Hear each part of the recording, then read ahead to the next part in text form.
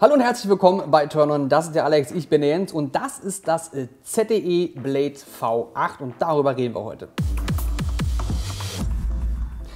So, ich habe jetzt hier das Blade ZTE Blade V8. Erstmal schon liebes ZTE-Team, der Name geht viel zu schwer von der Brust und auch die ganzen anderen Geräte, die ihr auf dem Markt habt, die sind alle vom Namen her so kompliziert. Axon. Axon 7 und ZTE Blade 8 und V und Pro und sonstiges.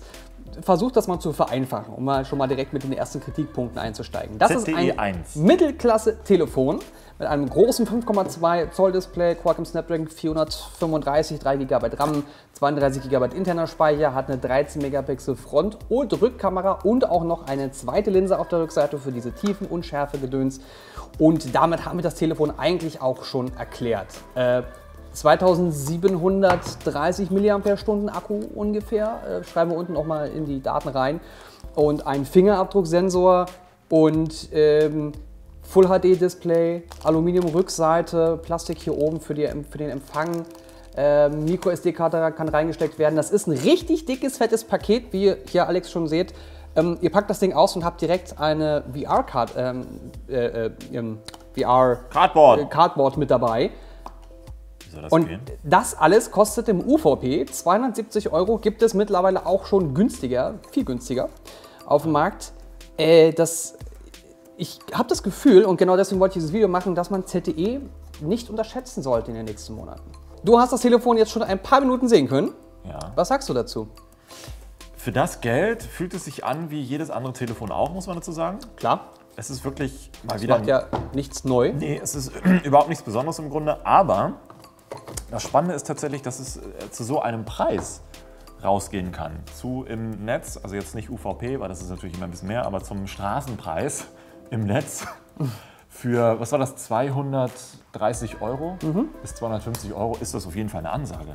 Ähm, die Qualität des Telefons, die Verarbeitung, beziehungsweise auch das, was äh, die Kamera kann, ist in dem Preissegment erstaunlich in Ordnung. Ja. Wobei man natürlich wieder sagen kann, ja, warum, warum macht man ein Telefon, das erstaunlich in Ordnung ist und macht nicht ein Telefon, das erstaunlich gut ist? Nun, da sind wir wieder beim Thema, es muss ja auch was für Leute geben, die nicht so viel Geld haben, die 1000 Euro für ein Telefon ausgeben können. Und ich Richtig. glaube, da versucht ZTE ähm, jetzt Fuß zu fassen. Da, wo sich zum Beispiel Kollegen wie Huawei und Co. mittlerweile verlieren. Auch richtig. Und auch OnePlus. Die Richtig, sind auch von den auch. 300 Euro weg. Die sind jetzt auch Richtig. bei 450 Euro Und das mittlerweile. OnePlus 5 wird wahrscheinlich auch irgendwo bei 500, 600 Euro wieder landen. What the fuck? Ja. Äh, bis, also es sind natürlich so Dinger mit bei, wo man sich denkt, warum? Zum Beispiel vorne der Aufdruck, 13 Megapixel Frontkamera, das ist unfassbar hässlich, meine Fresse. Das kann weg. Also es ist natürlich toll, das draufzuschreiben, damit man weiß, dass es toll ist, weil die Frontkamera Aber ist dann macht es doch mit so einem scharf. Kleber, den man dann abnehmen ja, kann. so eine. Folie am Anfang. Ja, ganz ne? genau. Das reicht komplett aus. Das ist nicht so geil. Ähm, was man bei ZTE auch noch erwähnen muss, bei den High-End-Geräten, die, also zum Beispiel das Axon 7 und das andere, habe ich gerade im Kopf, Mhm. Ja. ähm, da wird in Europa auch noch so ein kleiner, oder so, so ein, oder zwei so eine Gutscheine mit beigelegt. Mhm. Einmal für einen Displaytausch kostenlos und einmal für einen Wasserschaden kostenlos. Das heißt, du kannst dein Telefon, ähm, also wenn es mal runterfällt und das Display ist kaputt, kannst du es austauschen lassen, aus, komplett auswechseln lassen. Ja. Und wenn es dir mal ins Wasser fällt und du einen Wasserschaden hast, kannst du es auch nochmal Mhm. austauschen lassen.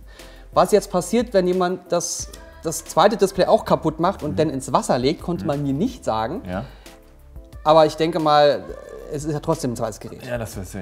Ähm, auf jeden Fall gehen sie gerade einen sehr interessanten Weg. Und ich glaube, man sollte da in Zukunft mal darauf achten, was von HTC noch so kommt, äh, von, von ZTE noch so kommt.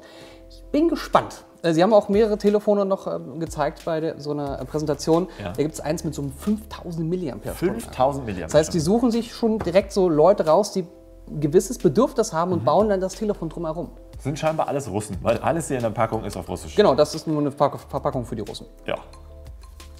So viel erstmal von uns zu äh, ZTE und dem Blade V8. Habt ihr denn on. schon mal von äh, ZTE ein Telefon besessen? Kauft ihr euch demnächst eins oder habt vor, eins zu kaufen? Schreibt das mal bitte unten in die Kommentare rein und wir schauen uns das in den nächsten Tagen mal an. Und wenn ihr Fragen an, an ZTE habt oder Kritik, dann sa- sagt, schreibt das auch unten rein, dann sagen wir den Kollegen Bescheid und die gucken sich das mal an, weil die brauchen sehr, sehr viel Feedback von euch, ähm, damit sie in Zukunft bessere Geräte bringen können. Ich glaube, mittlerweile wird es Zeit, dass wir uns mal um ein Dualkamera-Shootout kümmern. Mittlerweile haben so viele Telefone Dualkameras. Das wäre mal spannend. Übrigens, die ist nett, aber kann man nicht gebrauchen. Ja, nicht der Meinung.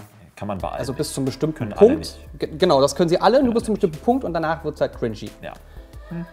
Wabadab. Bada, b- b- b- da, da, da. Lasst ein Abo da und ein Like, wenn euch das Video gefallen hat und wir machen jetzt Musik. Schluss. Lass uns mal Musik Wir machen machen. jetzt Schluss. Ich glaube, so, so ein. YouTuber, der Musik macht, das wäre geil. Okay. Ja, das können aber nur die, die jünger sind. Also so maximal 12 oder 14 Jahren.